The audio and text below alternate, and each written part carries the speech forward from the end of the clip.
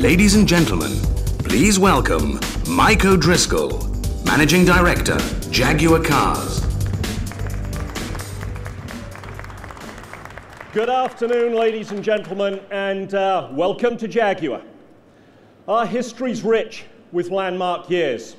Our founding in 1922, the launch of the XK, 1948, the victories at Le Mans in the 50s, the C-Type, the D-Type, the introduction of the iconic E-Type in 1961, and of course, there were more victories at Le Mans in the 80s.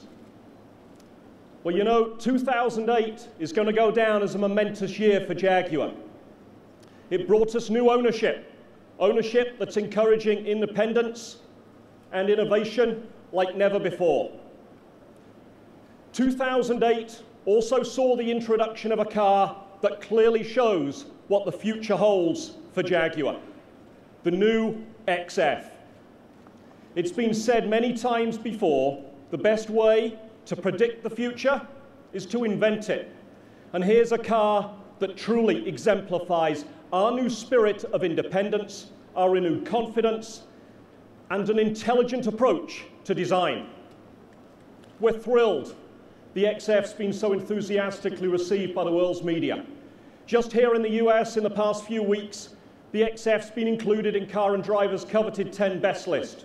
It's been voted an all-star by Automobile Magazine and judged best luxury car by Popular Mechanics.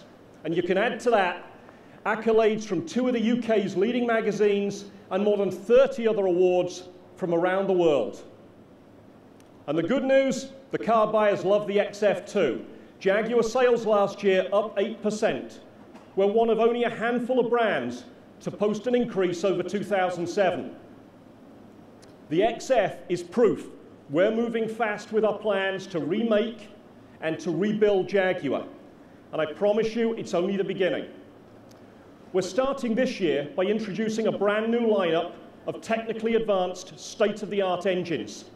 Our new twin-turbo 3-litre V6 sets a new benchmark for performance and for efficiency. The numbers it delivers are simply extraordinary. It produces 450 foot-pounds of torque, that's 600 newton meters. It powers our XF diesel from 0 to 60 in 5.9 seconds, delivers 42 miles to the gallon, and the CO2 rating, it's an outstanding 179 grams per kilometre. We're also introducing here today a completely new direct fuel injection V8 gas engine with torque actuated variable camshaft phasing. It produces 385 horsepower. That's 25% more than its predecessor. And yet, despite the significant power increase, no reduction in fuel economy or increase in exhaust emissions. And here's the really great news. We supercharged it too. It delivers a massive 510 horsepower and more than 460 foot-pounds of torque. This new engine takes the performance of the XF and the XK to a whole new level. We're going to place a new emphasis on the R Performance brand with much more focus on performance and on driving dynamics. And through R and the future R works, we're fast forwarding the development of our cars, both on the road and on the track. So would you welcome Jaguar's new R Performance cars, the 2010 XKR and the remarkable XFR.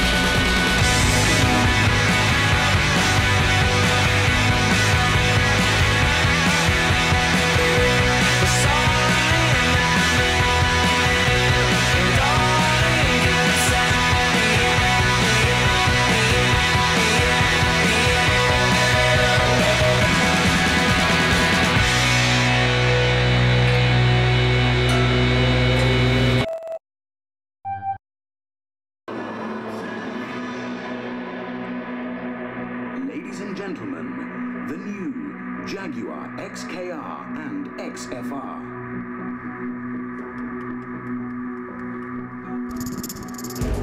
Please welcome back Mike O'Driscoll. All right, three great ways to go fast. Let's start with a new XKR. There's a new distinctive front end to create maximum visual impact from the Ian Callum design team. But the real story, it's what you can't see.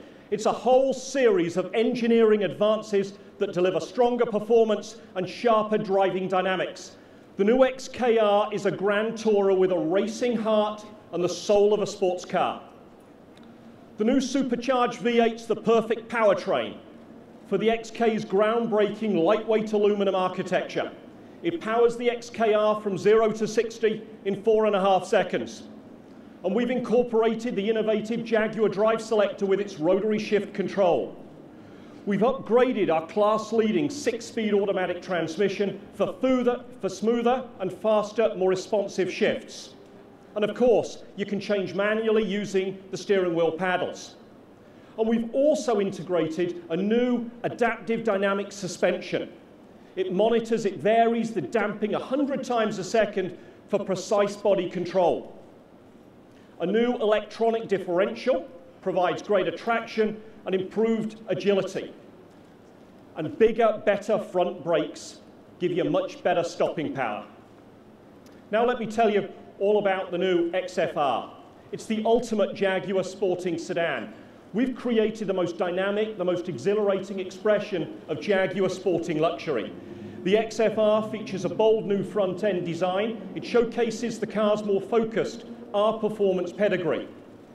The same new supercharged direct injection 5-litre engine goes into the XKR and the XFR. And with 510 horsepower, this car can accelerate from standstill to 60 in 4.7 seconds. In almost every road test and review, the handling characteristics of the XF have received top marks. And the XFR incorporates the latest advanced technologies to deliver an even sharper edge. We've added our adaptive dynamic system, new electronic active differential control. The XFR delivers on the driving experience like all our R models. Now, with 510 horsepower on tap in the standard car, we started wondering just how fast the XFR could really go. So we worked with our friend Paul Gentilozzi of Rocket Sports Racing. He took a development car with just a few minor modifications to the Bonneville salt flats to find out.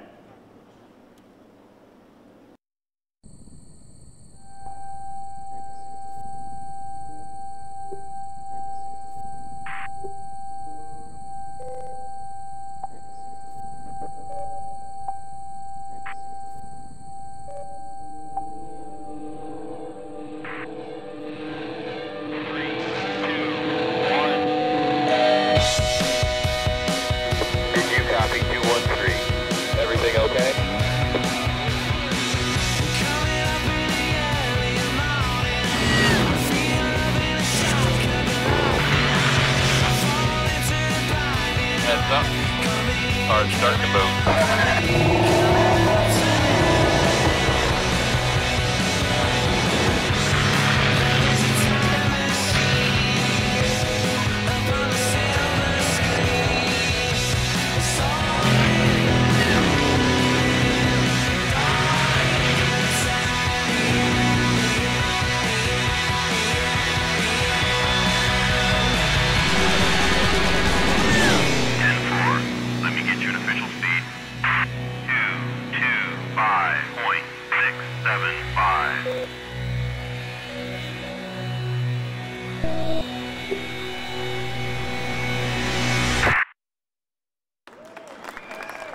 Whoa!